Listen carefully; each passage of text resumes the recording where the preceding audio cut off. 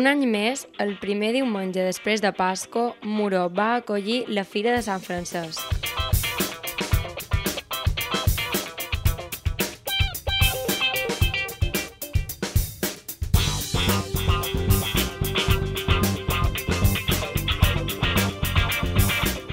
Les tradicionals panadetes van omplir el centre del poble.